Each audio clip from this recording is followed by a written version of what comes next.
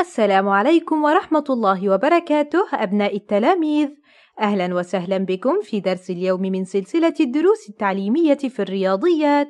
لنكون من خلال هذا الدرس مع الأعداد من صفر إلى أربعمائة تسعة وتسعين المقارنة والترتيب. إذا دعونا نبدأ.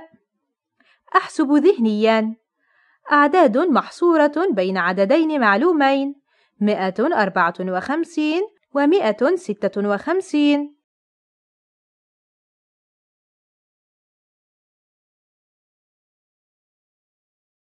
العدد المحصور بين مئة أربعة وخمسين ومئة وستة وخمسين هو مئة وخمسة وخمسين.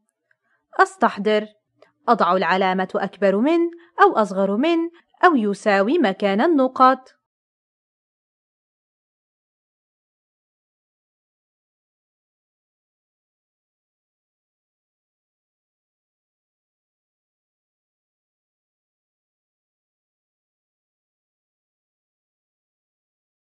مئة وثلاثة أصغر من مئة وثلاثين مئة اثنان وثمانين أكبر من مئة تسعة وثلاثين مئة أربعة وستين أكبر من مئة اثنان وخمسين مئة خمسة وسبعين يساوي مئة زائد خمسة وسبعين أتدرب. أكتب مكان النقاط عددا مناسبا.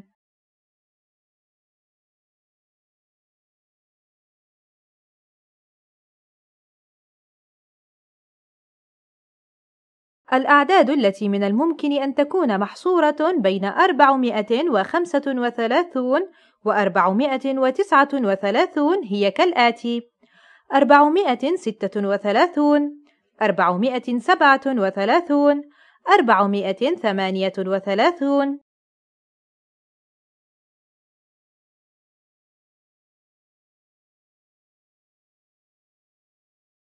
العدد المحصور بين مئتين وإحدى عشر ومئتين وتسعة هو مئتين وعشرة.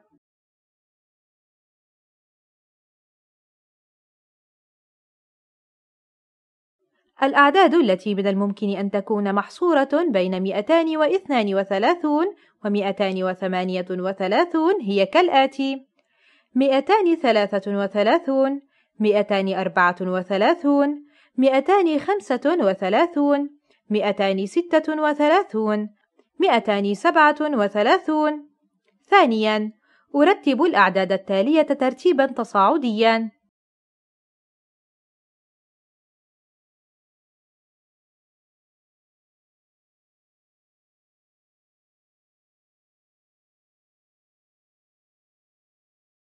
الترتيب التصاعدي مئة وسبعة عشر أصغر من مئتان واحد وسبعون أصغر من ثلاثمائة سبعة وسبعون أصغر من أربعمائة خمسة وسبعون ثالثا كتب زياد وماهر وريم على ألواحهم الأرقام التالية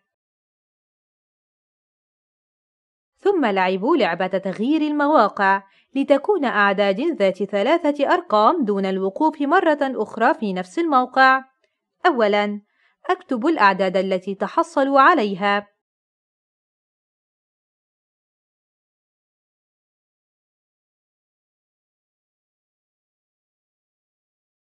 الأعداد التي تحصلوا عليها هي كالآتي: ثلاثمائة أربعة وعشرون، مئتان ثلاثة وأربعون، أربعمائة اثنان وثلاثون. ثانياً: أرتبها ترتيباً تنازلياً.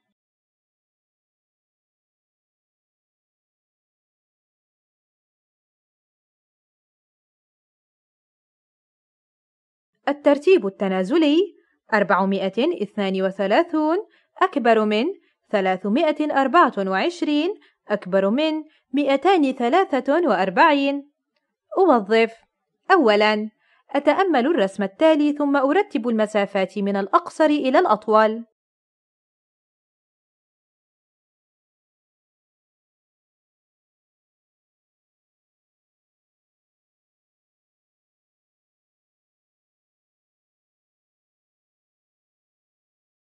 المسافات من الأقصر إلى الأطول مئتان خمسة وسبعون ثلاثمائة ثمانية وسبعون ثلاثمائة وثمانون ثلاثمائة سبعة وثمانون.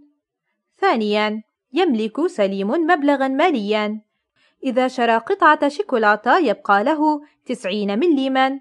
وإذا أراد شراء علبة ياغورت تنقصه خمسين مليماً. مع العلم أن ثمن قطعة الشوكولاتة 320 مليما وثمن علبة الياغورت 460 مليما أبحث عن المبلغ الذي يملكه سليم بطريقتين مختلفتين.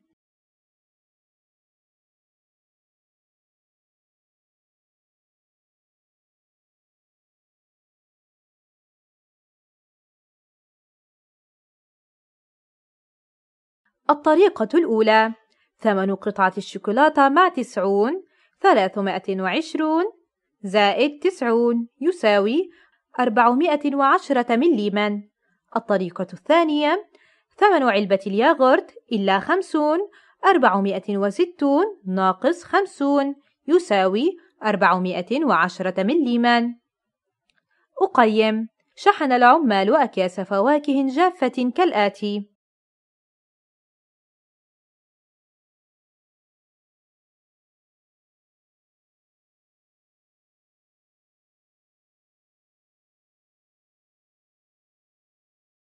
أولاً أتم الفراغات بما يناسب.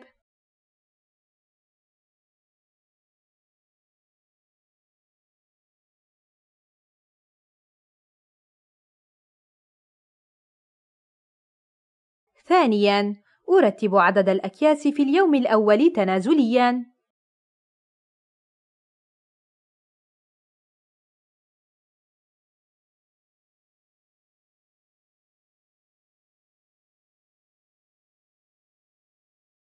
مئتان ستة وأربعون أكبر من مئتان سبعة وثلاثون أكبر من مئتان وأربعة عشر ثالثا أرتب عدد الأكياس في اليوم الثاني تصاعديا.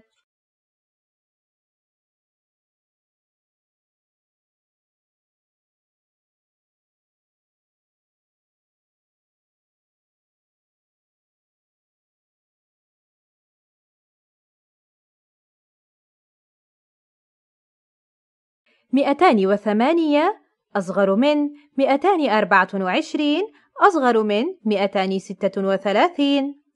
رابعا أرتب عدد الأكياس في اليومين تنازليا.